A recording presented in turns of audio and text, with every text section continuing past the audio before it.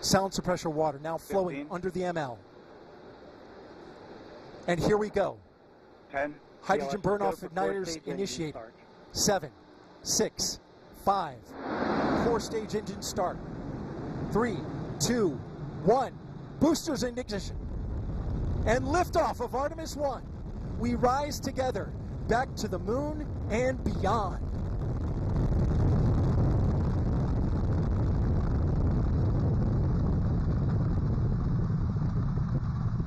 Five on the core stage and two solid rocket boosters now propelling the vehicle at 128 miles per hour. Hearing good, con- good control on the roll from teams in Mission Control Houston. All good calls so far. Now 30 seconds into the flight of Artemis 1. First milestone will be for the vehicle to pass through max Q at about 1 minute and 9 seconds into launch. This is the greatest period of atmospheric force on the rocket.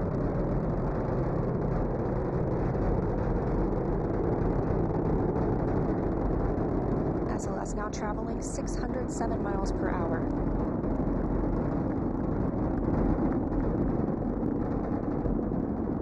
You're looking at 8.8 million pounds of maximum thrust. Quiet here in the loops in mission control. Four core stage engines are throttling down ahead of passing through max Q.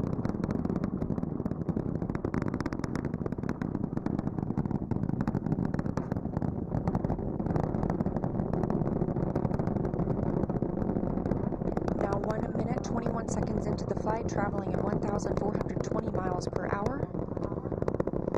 The four core stage engines are back at maximum thrust. The next major milestone will be for the solid rocket boosters to cut off and jettison at about 2 minutes and 11 seconds into the flight, so about 30 seconds from now. Again, quiet here in Mission Control Houston as teams continue monitoring the flight of Artemis 1. We're now 16 miles downrange from the launch pad at Kennedy Space Center, traveling over 2,800 miles per hour.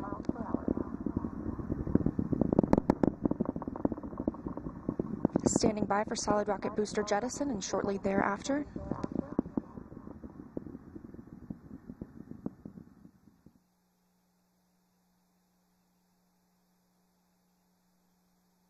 Confirmation that the solid rocket boosters have separated these 177 foot boosters now the core stage continues to power the flight of Orion, all four RS-25 engines firing, traveling over 3,400 miles per hour, 46 miles downrange. Two minutes and 36 seconds into the flight. Hearing nominal calls here in Mission Control Houston. We've still got four good engines on the core stage. Next up, we'll be looking for the service module fairing to separate. This is three 15 by 15 foot fairing panels, providing structural support, protecting the service module. Those will separate at about 3 minutes and 11 seconds into flight, and very shortly thereafter will be followed by the launch abort system separation. Just over three minutes into the flight of Artemis 1, now traveling over 4,060 miles per hour, 83 miles downrange. We just had confirmation that the service module fairing has separated.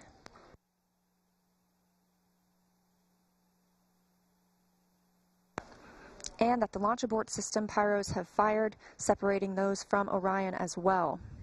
For future crew members,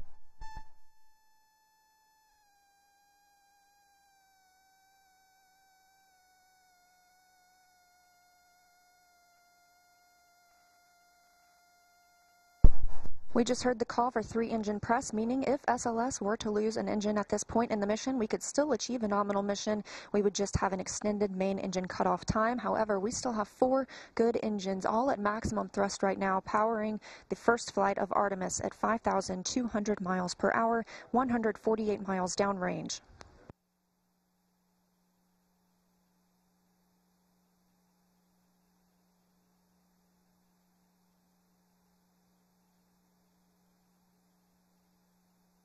We're 4 minutes and 16 seconds into the flight of Artemis 1.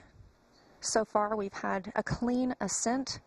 We saw those solid rocket boosters jettison about 2 minutes and 11 seconds after liftoff. Shortly after, we had the service module panels fairings separate, as well as the launch abort system. The launch abort system was inert for this flight, except to perform this separation. Those four core stage engines will continue to fire and power the flight of Artemis 1, now traveling over 6,800 miles per hour, 229 miles downrange. Booster flight controller reports that the engines are looking good.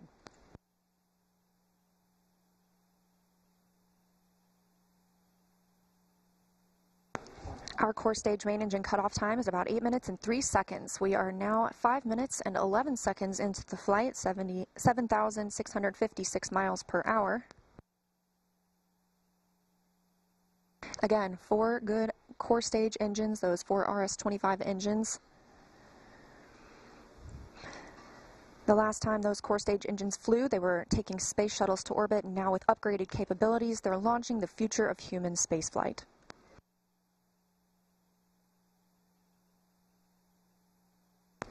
Five minutes, 42 seconds into the mission, we are now traveling 8,800 miles per hour, 345 miles downrange from the launch pad at Kennedy Space Center.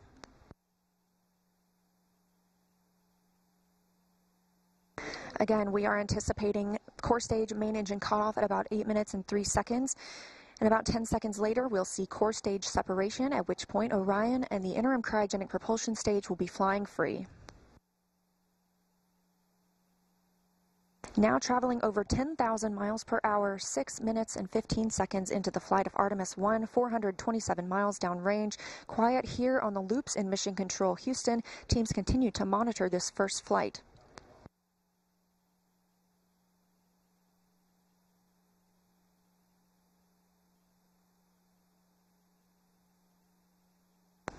About a minute and a half now until that core stage main engine cutoff time.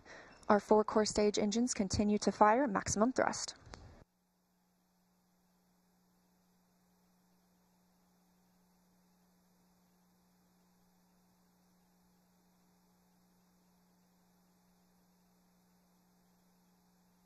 Coming up on seven minutes since launch today, now traveling over 12,800 miles per hour, 563 miles downrange.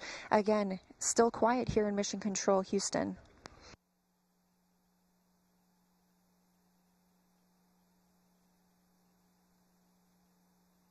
As we prepare for main engine cutoff, the four RS-25 engines are beginning to throttle down.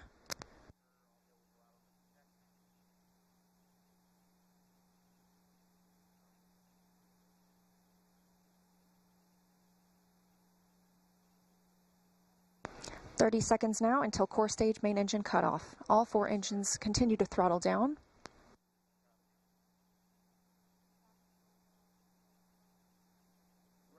Now 7 minutes 45 seconds into the flight, traveling over 16,000 miles per hour. Continuing to hear good calls here in Mission Control Houston. We're standing by for core stage main engine cutoff.